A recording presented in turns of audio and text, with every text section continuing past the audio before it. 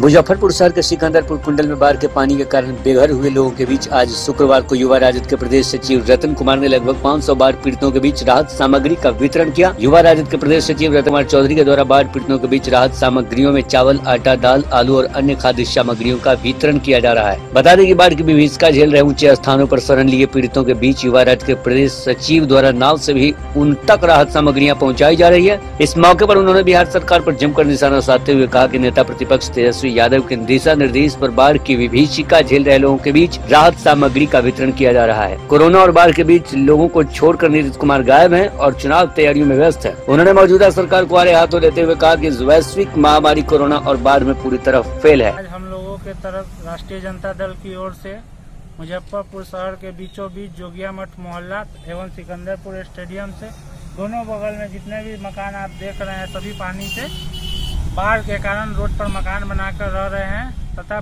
जब से बाढ़ की समस्या आई है, तब से राष्ट्रीय जनता दल एवं उनकी टीम तेजस्वी यादव जी की पूरी टीम, युवा राजद विशेषकर पूरे बिहार में राहत सामग्री पहुँचाने का काम कर रहा है। हमारे पार्टी अध्यक्ष श्री लालू प्रसाद यादव जी के निर्देश पर एवं पार्टी के प्रदेश अध्यक्ष कारी सोहेब जी के नेतृत्व में हम लोगों ने ये राशन बांटने का काम कर रहे हैं, तथा युवा राजद का एक ही सपना है, जब तक एक भी भूखा न बचे, तब तक हम लोग ये काम करते रहेंगे। क्योंकि ये बिहार में जो डबल इंजन की सरकार है, वो हर मामले में पूरी तरह विफल है। चाहे वो कोरोना की महामारी हो, चाहे वो बाढ़ की समस्या हो, चाहे अपराध हो, चाहे भ्रष्टाचार हो, चाहे बाढ़, यहाँ तक कि सड़क पर बरसात का पानी नहीं निकलने से भी जितने समस्या है, जितनी तरह की बीमारियाँ हैं, ना दवा उपलब्ध है, ना ही डॉक्टर उपलब्ध है अस्पताल में ना ही किसी तरह राशन का कोई वितरण किया जा रहा है।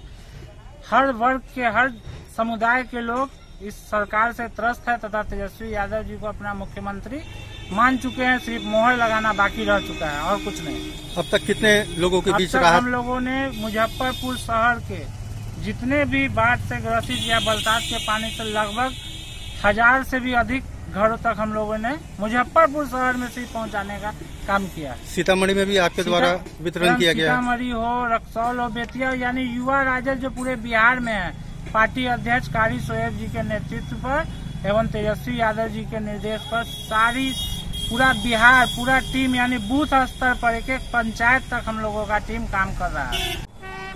पूरे देशवासियों को 15 अगस्त स्वतंत्रता दिवस की चौहत्तरवीं वर्षगांठ पर ढेर सारी शुभकामनाएँ एवं बधाइयाँ हमारी राष्ट्रीय जनता दल परिवार की तरफ़ से तथा मैं, रतन कुमार, युवा राजद प्रदेश सचिव।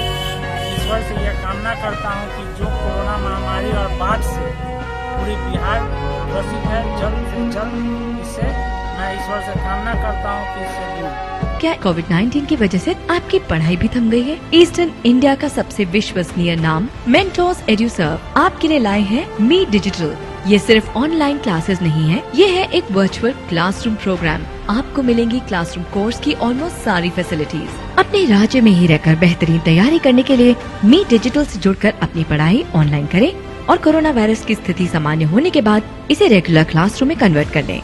मी डिजिटल को गूगल प्ले स्टोर से आज ही फ्री डाउनलोड करें। लेटेस्ट खबरों के लिए देखते रहिए एम न्यूज़ जेड न्यूज़ और ताज़ा अपडेट पाने के लिए चैनल सब्सक्राइब करना ना भूलें।